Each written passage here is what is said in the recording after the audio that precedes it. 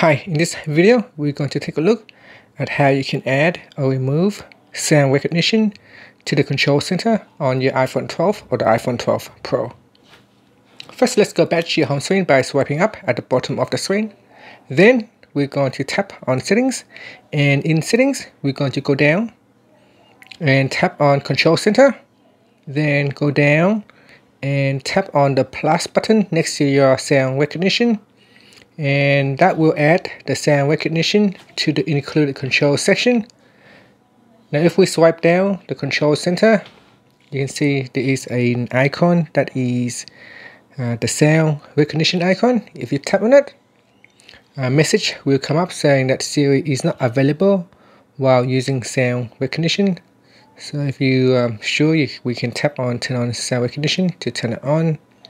And now that it is on, uh, it will try to uh, listening and detect to uh, any sound now if you swipe down and if you touch and hold into that there is a list of the things that you can activate or deactivate such as fire alarm, sign, smoke alarm, cat, dog, appliances, car horn, doorbell, door knock, water running and baby crying. Now you can also tap on the settings button and that will take you to your sound recognition settings page and in here you can see is a list of all the sounds that you can turn on or off. And if it is switch on so for example if cat is switch on then the phone will try to listening to the cat sound or dog sound.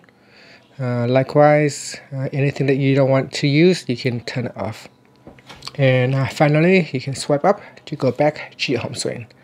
Now if you want to remove it from the control center tap on settings on your home screen and then we go back in here. So we go to control center. And in here we tap on the remove button next to the sound recognition. And then tap on remove and that will remove it from the control center. And that's it. Thank you for watching this video. Please subscribe to my channel for more videos